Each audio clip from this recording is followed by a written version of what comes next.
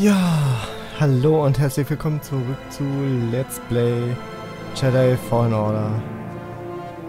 Und äh, mit der Musik zusammen wird, äh, ja, wird das Video hier gestrikt, aber da ich sowieso kein Geld damit verdiene, ist das kein Problem. Gut, ja, wir haben gerade, ja, passend zur Musik Vader ähm, getroffen. Der hat, ähm, ja, die äh, zweite Schwester hat äh, getötet, weil wir sie besiegt haben. Und Siri ist ähm, runtergefallen, aber ich, ich glaube nicht, dass sie tot ist. Ja, und wir sind weiterhin auf der Flucht. Und mal schauen. Kleiner, hörst du mich? Sie antworten nicht. Werden Sie. Ich bin ganz sicher. Reese, ich bin hier. Auf dem Weg zur Oberfläche. Sei bereit. Ich habe das Holocron. Aber... Siehe. Jetzt nicht geschafft, Grace. Sehe? Komm einfach da raus, Kerl. Bleib in Bewegung. Tut mir leid. Dann hat sie es wirklich nicht geschafft. Ja, die, die Frage ist, ob äh, wir Vader wirklich ähm, entkommen. Ich glaube nicht. Ich glaube, der, der kommt nochmal.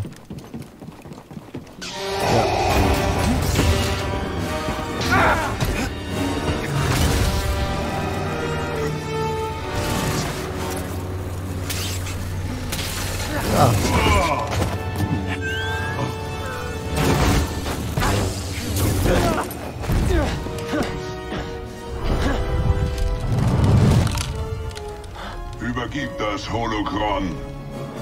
Das gebe ich euch nie. Abwarten.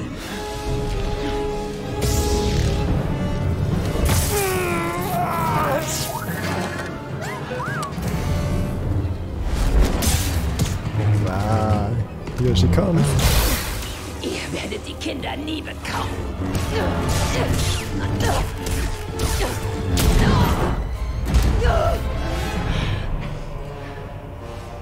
So viel Hass. Aus dir wäre eine exzellente Inquisitorin geworden. Sie ist stärker als das.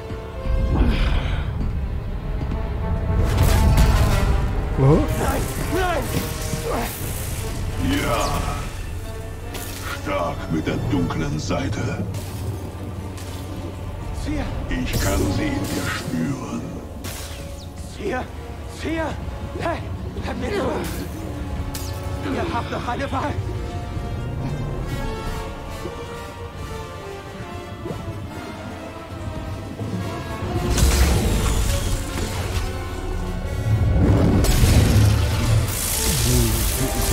Mega stark in der, in der Macht.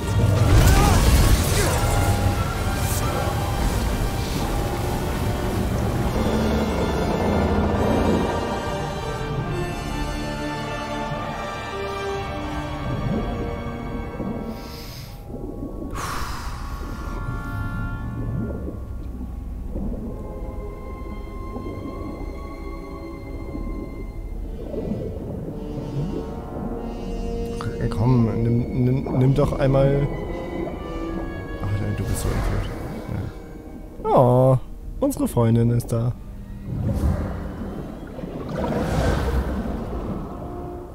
Hey. Hey. Hey, Kleiner. Kerl. Kerl. Oh, der, der ist voll besorgt. Sir.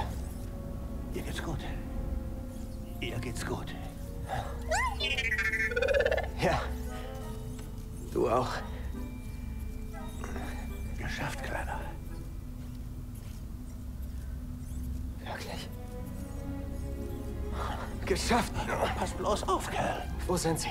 Ja, da draußen sind sie. Wow, warte. Moment. Na, da draußen. Verzeihung. Das warst du im Wasser, nicht wahr? Zum Glück bist du okay. Er war die ganze Zeit bei dir. Danke.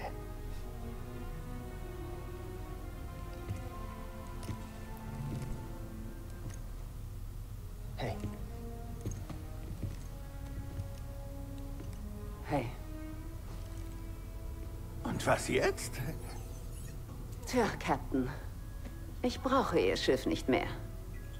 Ihr Vertrag wurde erfüllt. Danke, Grease. Also, wenn sie nichts ausmacht, habe ich mir gedacht, dass ich vielleicht noch bleibe und sie an ihr nächstes Ziel bringe. Außerdem sieht der Kleine zu mir auf. Was ist damit? Es hilft uns, den Orden der Jedi wieder aufzubauen.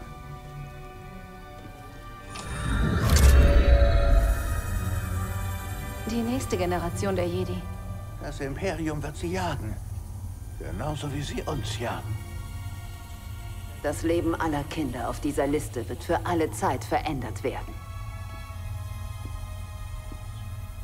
Aber nicht durch uns. Ja, versteckt es. Oh, er zerstört es. Ach, krass. Ihr Schicksal sollte der Macht anvertraut werden.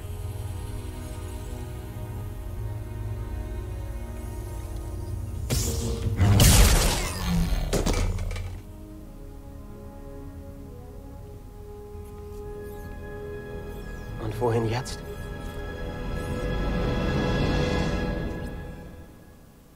Puh, und das war's. Krass.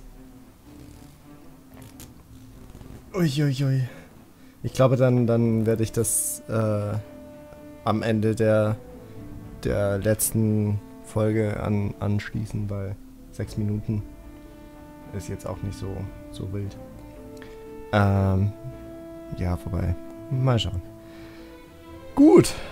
Ja, ein, ein sehr krasses Spiel. Also hat ähm, ein paar Macken, aber ich, ich finde es ich finde, es äh, hat zu Recht äh, so viel Hype und Lob äh, einstecken können. Es ist halt mal wieder ein, endlich mal wieder ein Jedi-Spiel, das sich nach Star Wars an, anfühlt und es ist ein Singleplayer. Endlich. Ich hoffe, dass EA das jetzt äh, checkt, dass Singleplayer-Games halt immer noch oder also die, die waren nie wirklich weg vom Fenster und ich hoffe, dass sie darauf jetzt aufbauen. Und vielleicht sogar ein, ähm, eine Fortsetzung machen. Das, das wäre sehr cool. Ich mag die vier zusammen. Die, die passen sehr gut zusammen. Und ja, vielleicht äh, werden sie Rebellen. Vielleicht ja, suchen sie andere ähm, Überlebende von Order 66. Wie sie eben Karl äh, gerettet haben vor der Inquisition. Und ja.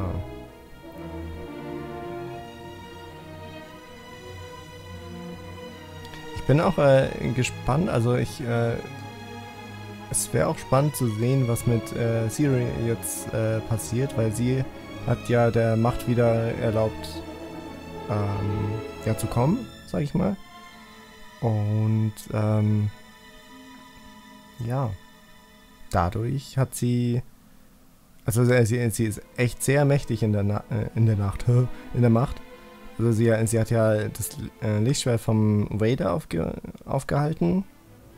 Das können auch eigentlich nur die wirklich krassen Machtnutzer, also wie Yoda oder ähm, äh, Chara hieß die, glaube ich. Äh, und ein paar vom... Also es, es konnten wirklich nicht äh, viele äh, Laserschwerter eben mit der Macht aufhalten. Mm, ja. Aber ich, ich bin richtig froh, dass sie, ähm, also dass äh, EA und also die, die Macher äh, sich für diese Scenery ähm, entschieden haben, also kurz nach Order 66. Das ist ja noch ein bisschen von, äh, von den Clone Wars eben durchschwingen, von der alten, äh, von der Republik eben, also äh, von der neuen Republik. Und äh, ja, das, ich, ich habe es echt gefeiert, dass er die äh, Schwestern der Nacht und Brüder der Nacht äh, nochmal vorkamen. Das ist äh, eine ziemlich spannende, spannende, ähm, ne? Ding. Und ähm, ja, wie, äh, wie schon äh, gesagt, also wer sich für das ähm, für Clone Wars und so weiter interessiert, der kann äh, ruhig der, der Serie eine Chance geben. Es war, also, ist zwar computeranimiert und ähm, man, man braucht ein bisschen, um reinzukommen. Vor allem die erste Staffel ist äh, ziemlich auf Kinder gemacht, aber es wird düsterer. Es wird sehr, sehr viel düsterer und auch richtig geil. Also ich feiere die wirklich. Und äh, ja. Allgemein, also ich habe äh, sehr viele Bücher gelesen, Comics gelesen. Äh, auch in Form von Hörbüchern. Da gibt es ja vor allem ähm, vor allem über die äh, das, äh, ähm, die Zeit vom 5. bis 6. Star Wars und danach eben mit äh, Luke Skywalker und so. Ähm, aber auch äh, über äh, Kenobi und die Clone Wars und äh, Master Windu, also Katano und so. Da gibt es ja sehr viele. Und ich muss sagen, mir gefallen die äh, über Clone Wars am meisten. Weil ich finde die Klone auch richtig cool, richtig lässig. Aber naja. Deswegen freut es mich riesig, dass es eben in dieser Zeit gespielt hat. Und EA schafft es wirklich, ähm, die Spiele richtig, richtig gut aussehen zu lassen. Aber ja, das, das ist halt auch nicht das Hauptkriterium. Ähm, aber ja, sie, sie haben es hier gut gemacht, dass sie auch die Story eben äh, nicht zu kurz kommen haben lassen. Ähm, was mich genervt oder gestört hat, waren die ständigen Rutschpassagen. Das war so total unnötig irgendwie. Also ein paar Mal war es lustig, aber ja, mit der Zeit, äh, es ist halt einfach total unlogisch, dass irgendwie zum Beispiel in, ähm, äh, im Kreuzschiff, im, in der Venator, eben eine Rutsche ist. Eine Eisrutsche. Hä? Was soll das? Oder, also, so im Gebirge, ja, okay, da, das ist völlig in Ordnung, aber naja. Gut. Muss jetzt nicht sein. Ähm, und ja, die Alpha-Wände waren spürbar und das sollte eigentlich nicht sein. Äh, bei so einem also das, äh, das war kein Open World, sondern halt äh, schon Tunnelsystem, äh, sage ich mal. Aber ähm, ja, das kann man geschickter, geschickter machen. Zwar nicht, also Alpha-Wand ist halt einfach, aber man kann es wirklich geschickter machen. Ähm, es hat mir auch sehr gefallen, dass es, äh, dass die Endgegner richtig schwer waren. Also wahrscheinlich, weil ich es äh, nicht einfach oder mittel gemacht. Also ich habe es auf Jedi-Ritter gemacht, glaube ich. Ähm, ich, ich weiß gar nicht mehr, was ich eingestellt habe. Aber ja. Ähm, ja, taugt mir richtig. Richtig, richtig, richtig. Ich werde es auf jeden Fall nochmal äh, selbst für mich ein bisschen zocken, damit ich halt die, die ganzen ähm, Kisten und so weiter freischalte. Das hat mich auch äh, ein bisschen gestört, warum man. Ähm, ah, genau, genau, zwei Sachen. Also die, die Ponchos, da hätte ich mir mehr, mehr erwartet. Also wenn man schon äh, so Kisten macht, wo eben Kosmetiksachen drin sind, okay, das, das machen äh, sau viele ähm, Spiele zur Zeit oder äh, in letzter Zeit. Äh, das ist auch okay. Ähm, aber dann hätte ich äh, schon andere Kleidungsstücke genommen. Also Poncho ist in Ordnung, das, das kann man so machen, aber dann hätte ich vielleicht auch eine Jedi-Robe oder ähm, ein äh, vielleicht, äh, dass, dass man sich auch als Clone, äh, nee, nicht als Clone Trooper, sondern als ähm, Stormtrooper verkleiden kann oder die Rüstung von denen benutzen kann oder irgendwas. Äh, dass, dass man halt nicht so immer ein Poncho in verschiedenen Farben hat, sondern eben auch was anderes. So, und äh, das mit den Skills. Ich kann schon verstehen, dass äh, sie das, äh, also warum sie das so gemacht haben, dass man nicht äh, eben zu jeder Zeit die, ähm, die Fähigkeiten erlernen kann. die haben es auch sehr gut in die Geschichte ein, ähm, integriert, dass eben Kyle äh, nach Order 66 eben das Gelernte komplett abgeblockt hat und es wieder erlernen musste. Das, war, das war sehr gut. Aber trotzdem, es hat, es hat sie äh, nicht so geil angefühlt, sage ich mal. Also, wenn man irgendwie einen Fähigkeitspunkt erlernt hat, äh, war es bis zur Mitte des Spiels irgendwie so, ja, hm, ja, super. Am Schluss äh, hat sich sehr super angefühlt, dann endlich äh, drei Fähigkeitspunkte und dann einen coolen neuen, ähm, eine coole neue Fähigkeit erworben. Was ich da scha schade fand, äh, Entschuldigung, ich ähm, quatsch die ganze Zeit. Ähm, was ich ja da schade fand, war, ähm, dass die ganzen Fähigkeiten bei den Endbossen überhaupt äh, total egal war. Zum Beispiel jetzt bei, ähm, bei der zweiten Schwester. Ähm, ja, also ich, ich äh, musste eigentlich die ganze Zeit normal draufhauen und äh, ständig äh, den Force Push machen oder den Pull.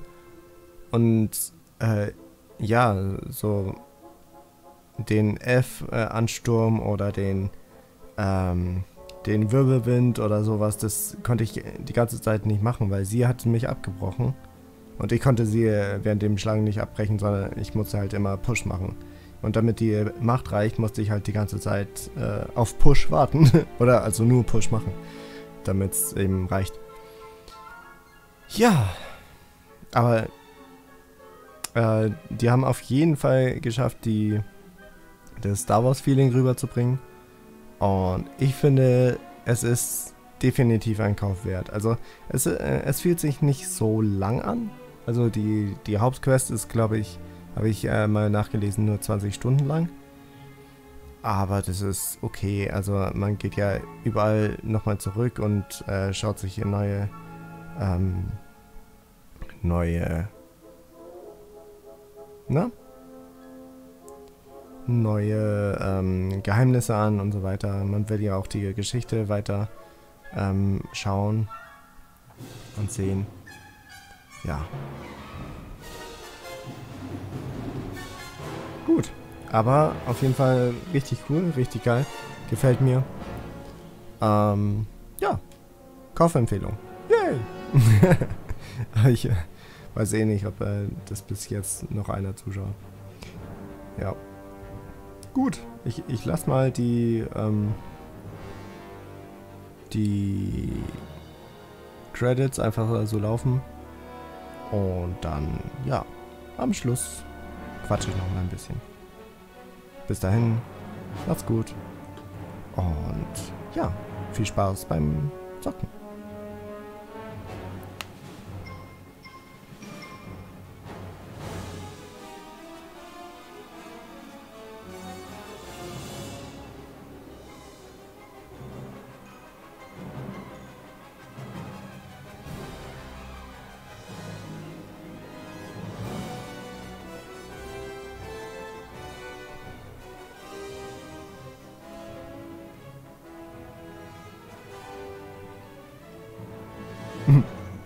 Ist noch jemand dabei?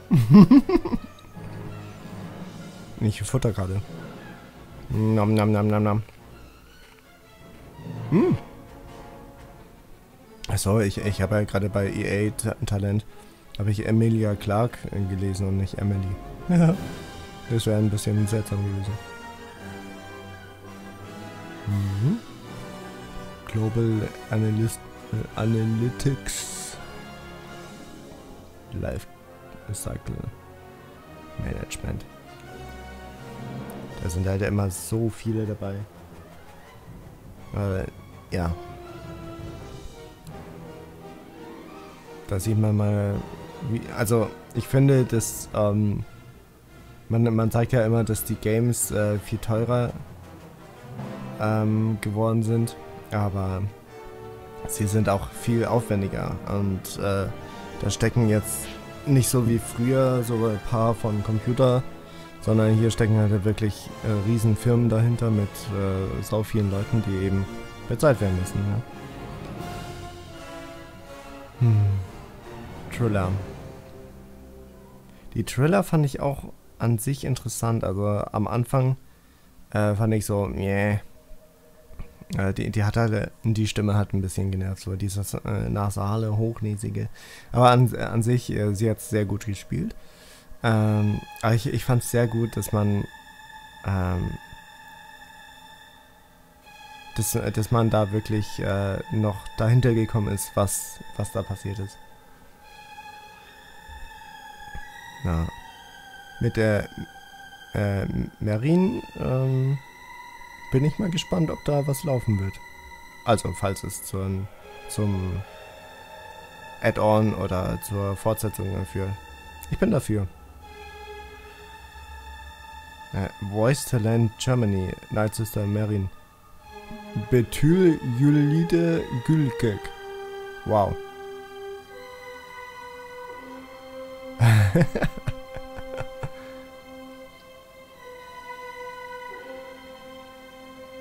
ja, äh, klassischer deutscher Name, ne? ja, egal. Deutsch ist ja sowieso total multikulturell, also von dem her ist das äh, überhaupt kein Problem. Wieso sollte es auch Problem sein? Also es gibt viele, die das als Problem sehen. Aber egal. Alles gut. Voice Talent. Wieso wird das eigentlich nicht, äh, also warum wird es Voice Talent genannt? Also Synchronsprecher.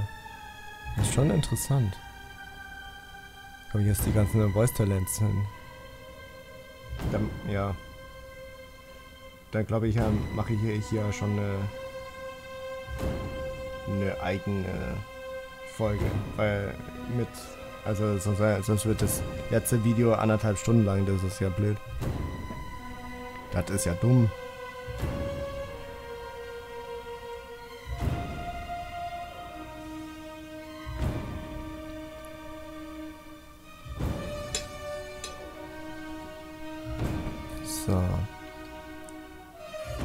Japanese. Alter, jetzt kann man halt die, die ganzen... Wir könnten es auch abbrechen, ne? Wir könnten es auch abbrechen.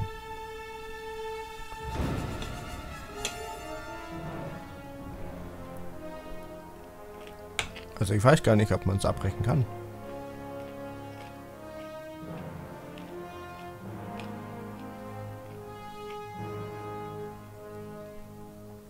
Boah, in dieser Folge, die Folge mit ähm, wo äh, die, den Order 66 nochmal äh, miterlebt.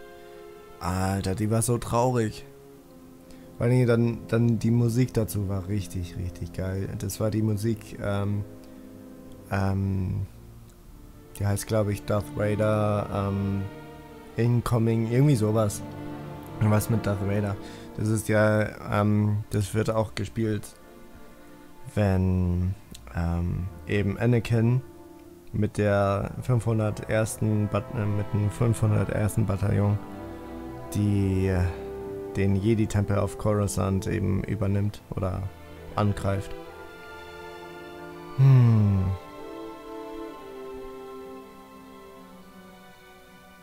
So krass.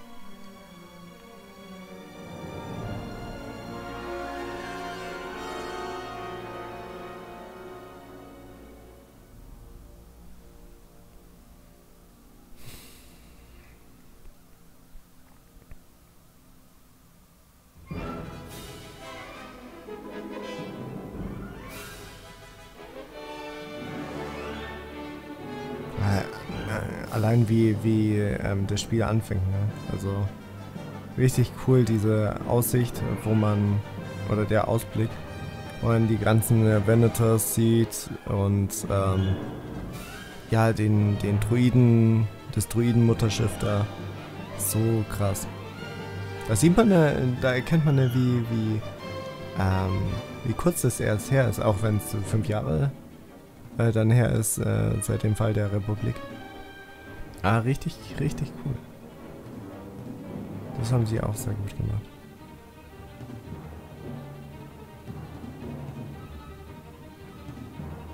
Hm.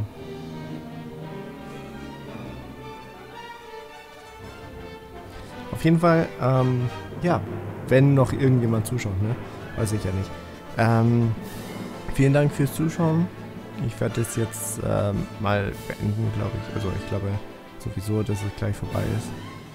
Ähm, ja, wenn, wenn ihr ähm, Wünsche habt auf irgendwelche Spiele, lasst es mich in den Kommentaren wissen. Ähm, es wurde sich auch schon gewünscht, dass ich äh, Fortnite zocke. Äh, das, ja, vielleicht irgendwann später. Aber da muss ich erstmal üben, um überhaupt unter den ersten 30 zu kommen ungefähr. also ich habe es einmal eingespielt auf, äh, als es gerade rausgekommen ist, mit Freunden. Aber hat, er hat mich nicht so gefesselt. Naja. Ich, ich, ich, ich mach, äh, mag eher so storybasiert und strategisch ähm, Games. Aber ja. Wird auf jeden Fall irgendwann auch kommen. Gut. Also Fortnite jetzt. Genau, ähm, auf meinem Kanal sind auch noch ganz viele andere Let's Plays, vorwiegend äh, Rome Total War, also ein bisschen historisch und strategisch. In der Antike spielt es. Dann Planet Zoo und äh, Ghost Raccoon und sowas. Also könnt ihr mal vorbeischauen. Würde mich freuen. Und ich glaube, jetzt sind wir auch fertig. Die ganzen Copyrights hier. Genau. Dann bedanke ich mich auf jeden Fall nochmal fürs Zuschauen. Ich hoffe, euch hat es genauso gefallen wie mir. Sorry mit dem ganzen Sterben. War nicht so geplant, haha. Und äh, ja. Dann würde ich sagen, vielen Dank fürs Zuschauen. Das, ich wiederhole mich. Ich, ich warte nur, bis äh, das endlich hier vorbei ist. Gut. Wenn, wenn ihr es geschafft habt, so lange durchzuhalten, könnt ihr ja mal das in die Kommentare schreiben. Irgendwie, keine Ahnung, hab's geschafft oder I'm done oder keine Ahnung. Würde mich sehr freuen. Gut, bis dann. Macht's gut. Bye bye.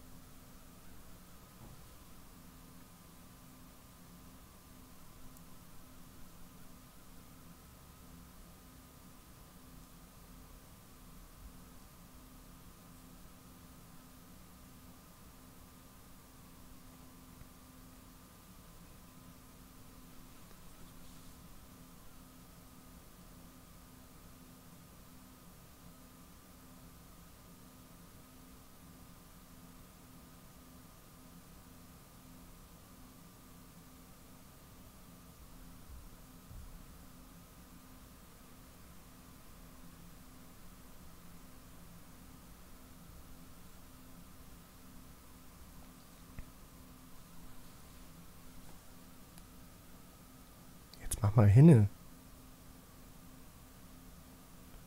Danke. ich glaube, das war's jetzt, ne?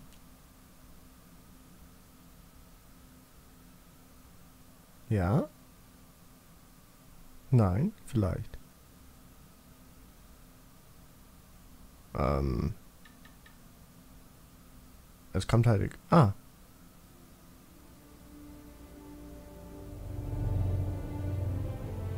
Genau, jetzt ist... Genau. Gut, dann... Jetzt hat aber.